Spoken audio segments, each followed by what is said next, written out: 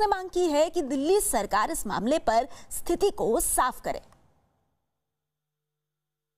दिल्ली सरकार को स्पष्ट करना होगा कि जो एमसीडी नॉर्थ उनके जो चेयरमैन जयप्रकाश उन्होंने स्पष्ट किया है कि इस दौरान में मार्च से अब तक जो कोरोना वायरस से संबंधित डेथ उन्होंने क्रिमेशन दो हज़ार में लोगों का किया है। जबकि दिल्ली सरकार के द्वारा कहा जा सकता कहा जा रहा है कि कोरोना से संबंधित 900 के करीब डेथ तो ये क्या जो डेथ के आंकड़ों को कम आंकना कम दिखाने की कोशिश है या फिर सरकार इसको बात को भी स्पष्ट करे?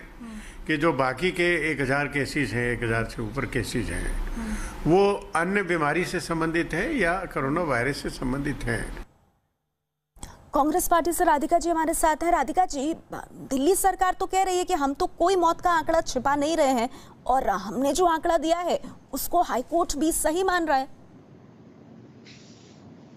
नेहा जी, बहुत अफसोस की बात है कि एक बार फिर दिल्ली, आम आदमी पार्टी और भाजपा की जो लड़ाई की चक्की है, उसके बीच में फिर से पिसती जा रही है।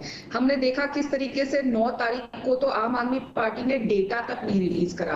क्या ये नंबरों की गड़बड़ी और हेराफेरी करते हैं कि ये डेटा नहीं रिलीज़ कर पाते? और जब डेटा रिलीज़ भी करते हैं तो अगले दिन, एक दिन पहले का अगले दिन की रात को डेटा रिलीज़ किया जाता है। जो सरकार दिल्ली की जनता को डेटा तक नहीं बता पा रही, वो लड़ाई कैसे लड़ रही होगी ये सबके सामने है। और सामने है सबूत तो कि आंकड़े तो इनके कभी मैच करे ही नहीं। पहले आ रहे हैं क्रेमेटोरियम के अलग आंकड़े आ रहे हैं और दिल्ली सरकार अलग आंकड़े बताती है और फिर पाँच पाँच छह छह दिनों बाद उनको ऐड करती है।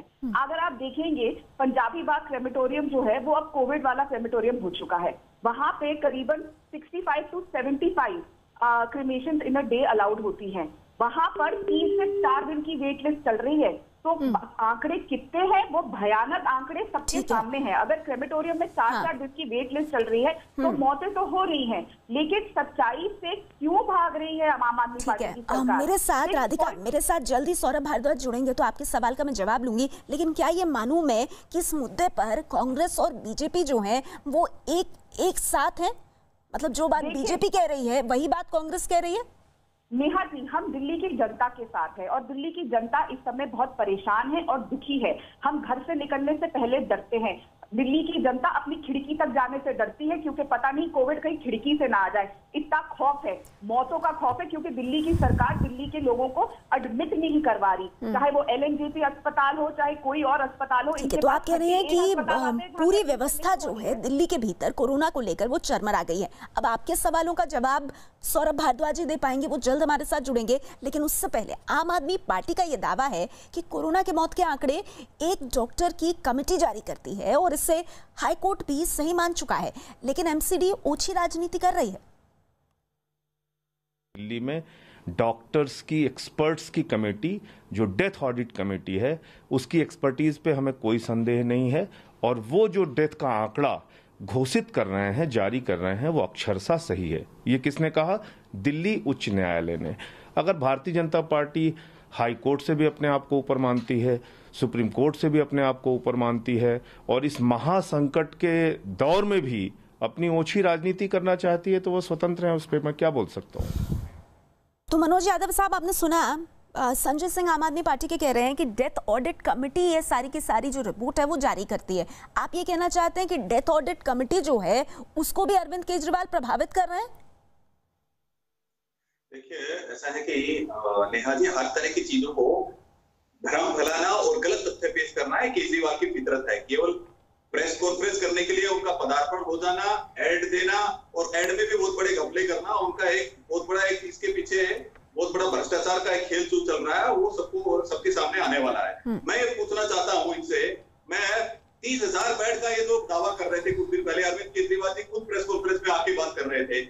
अभी बोल रहे हैं कि हमारे पास नौ हज़ार ही बेड हम हम्म। पंद्रह हज़ार बेड की व्यवस्था करेंगे तो बताइए किस तथ्य पर इनका माना जाए? ठीक है चलिए कई सवाल है लेकिन चलते चलते राधिका मैं आपसे संक्षिप्त में जानना चाहूँगी।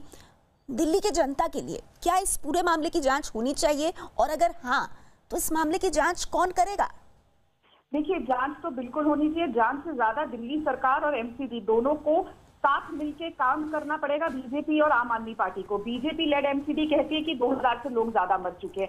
जवाब में दिल्ली सरकार कहती है कि हाई कोर्ट ने हमारी और कोर्ट ने हमारी एक कमेटी वैलिडेट कर रखी है जो हमारे पे आप एलिगेशन मत लगाइए हमें साथ चलना चाहिए। पर सवाल अभी भी उसका जवाब नहीं मिला है। क्या दिल्ली में 2000 से ज़्यादा मौतें हुई हैं? क्या इन दोनों को चाहे एमसीडी में भाजपा की सरकार हो चाहे दिल्ली में आम आदमी पार्टी की सरकार हो क्या इनका कोई दायित्व दिल्ली की जनता के प्रति नहीं बनता? क्या इनका दायित्व सिर्फ़ इतना है कि वो आपस में लड़ते रहे? ठीक है तो देखिए सबसे बड़ा सवाल सबसे बड़ा सवाल यहाँ पर यही है कि आखिर सही सच्चाई जो है सही तस्वीर वो सामने आनी चाहिए और कम से कम इतनी इतने मुश्किल वक्त में दिल्ली में मौत के आंकड़ों पर सियासत नहीं होनी चाहिए। वक्त मेरे पास इतना ही है बहुत बहुत शुक्रिया। आप सभी का हमारे